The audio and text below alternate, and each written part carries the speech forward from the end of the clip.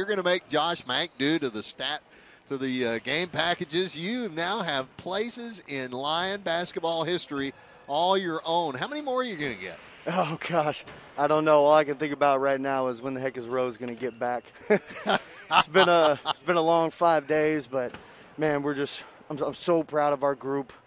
Um, you know, it's what we talked about in the locker room just now. That there's just not a lot of teams that they could have done what they just did. So, you know, really proud of those guys and, and just just proud of this weekend that we were able to get through. Talk about how different and yet how similar this game was to yesterday's.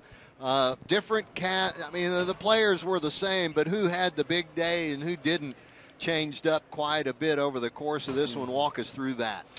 I mean, that's that, that's how our team's set up. I mean, you know, it's set up where any guy can can have a good night for us. Um, as long as we're playing basketball the way we want to play, as long as we're sharing it and that ball's popping and moving and finding the right person, um, and, and that's that's just the way our team's set up. Uh, Dante Adams, I got to go to him. He's he's quickly becoming one of my faves, coach. Uh, 11 points on back-to-back days. That's not quite the same as back-to-back 21 pointers out of Demarcus Demonia. Uh, well, that scheme ended, but he still had a good afternoon. But Dante Adams is a pretty good get for you off the bench now. Oh gosh, just just the energy, the intensity he brings to the floor. Um, I, I, mean, we couldn't have made we couldn't have done this without him. Um, he's been huge. He's been rebounding the basketball. He's so active with his hands. He gets deflections and steals, and he's just a big time energy guy for us off the bench. He's been wonderful, and I can't say enough about Demarcus Demonia. I mean, just just his leadership on our team and his ability to score the basketball. Uh, I just can't say enough about Demarcus. I'm so proud of him. You know, talk a little bit about. He comes from a part of the world that very few people here are familiar with, up in Maryland uh, in their basketball scene. Uh, but how did how does this guy end up in Commerce America? well, you'd have to uh, ask our uh, is that a Ted guy? uh, Coach Rawlings. Yep, Coach Rawlings developed a relationship with him uh, about a year ago, and, uh, and, and just really did a good job with him, uh, getting him here, and, and, and, we're just so happy things worked out that way. Um, and, and, just really, again, just really, really excited for the future for Demarcus, and, and proud of him for the weekend he just had. Tell you what, TED Talks are working here, man. Hey, Karius Key had to give you a load of minutes, and he was handling the rock for you, too, when Devin Bethley got in early foul trouble. How about his day? Yeah, I, I mean, a lot of times, you know, your, your, starting point guard, especially one that's the caliber of Devin and what he means to our basketball team. You know, anytime a guy like that picks up uh, three fouls in the first half, um, you know, it makes you a little nervous. But you know, that's something we talked about at halftime. Karius Key came in the basketball game, got us into offense every single possession, uh, didn't turn the ball over, and, and, just got us in into our offense. And, uh, you know, we, we wouldn't have had this victory without Karius coming in the game and doing what he did on, on both sides of the ball, defensively as well. Rebounding today went a lot better for A&M Commerce, I believe, at the end of the day. Let's see, 32 to 28, A&M Commerce in front of Tyler Yesterday it wasn't quite the same way. How did you get the early jump on the boards? You know, we, something we talked about going into the game. Uh, you know, we really wanted to make sure we were defensive rebounding, finishing possessions with two-handed rebounds.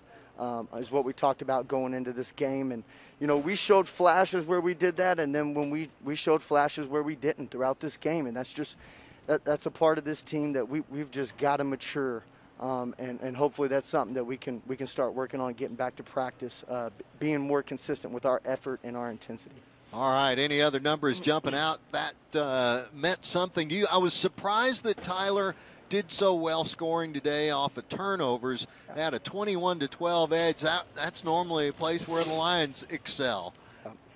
Yeah, you know the, the numbers that stand out to me is we went 16 for 16 from the free throw line, and yeah, that's that something helped. that's something that we've struggled with all year. So, not sure where that came from, but hopefully we can keep that uh, keep that rolling right there. Well, coach, that's a school record as best as is understood. Josh Mank did a little digging, and you have to go back to 1970. Oh wow, that was when nine-year-old Charlie Chitwood was rolling the roost. and let me tell you, out in Alpine, Texas, at Sul Ross The Lions hit 14 out of 14 that day. Okay. And today's the new mark. Congratulations on any kind of record-setting performance. awesome. Thank you. All right, hey man. So next up, uh, you get you you. I know you want Rose back, but you, until he shows up, you got to keep working. And Angelo State's coming up next. Yes, sir. Hopefully our guys can get off their feet. We're off tomorrow. Uh, just need to take care of our bodies, and then we'll be back to work uh, next week, ready to go. You know, the way the season's gone, how big of an accomplishment was it to you to finally get a weekend sweep of a team? Yeah, I mean that's that's something I told the guys in the locker room. I mean we're on a three-game winning streak right now. You know we kind of built off uh, the win with with Arkansas Fort Smith on Friday, and then building off yesterday uh, tonight. And so we're, we're seeing progress. Guys are starting to learn and understand what we're trying to do. We talked about the quarantines yesterday. We've, we've been in four quarantines and we've lost a lot of time, you know, get, getting these new guys in, into gear with what we're trying to do on both sides of the basketball. And, and, you're finally starting to see that growth and that development with our team. And it's exciting, and, and we know we got a lot of work ahead of us, but – uh, we're, we're ready to keep this thing rolling. A little bit more fun when there are a few bodies here in the field house, right? yes, sir. And that Lion Pride band, don't you love having to talk louder in a timeout because they're uh, here?